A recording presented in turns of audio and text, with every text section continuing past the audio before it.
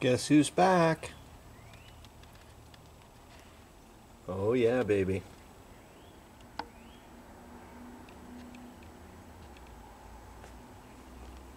I can't believe she's back.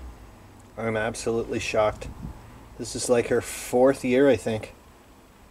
Wow, I thought for sure, man, that she was um, she was toast. I saw her yesterday.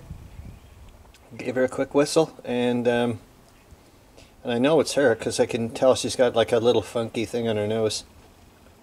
See if she uh, come towards with my whistle.